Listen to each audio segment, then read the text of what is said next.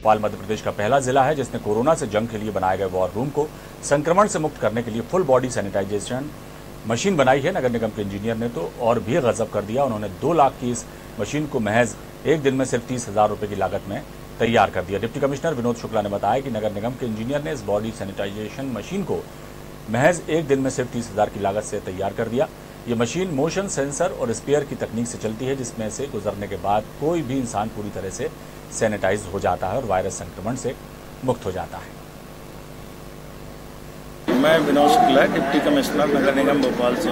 ये आइडिया तो हमारे कमिश्नर साहब का है विजय दत्ता साहब ने हम लोगों को ये प्रेरित किया कि इस तरह से कुछ डेवलप करना चाहिए पूरी बॉडी को सैनिटाइज करने के लिए और इसी सोच के साथ आ, हम हमने हमारे इंजीनियर हबीबुर रहमान हैं, उनके द्वारा ये विचार विमर्श के बाद हम लोगों ने इस पर विचार किया कि इस तरह की मशीनें तैयार की जा सकती हैं और फिर इसमें विशेष रूप से सहयोग किया है जैन ब्रदर्स, जो मशीनरी पर ही काम करते हैं, इस तरह की मशीनें बनाते हैं। उनके साथ मिलकर हमारे इंजीनियर ने इसको तैयार किया। है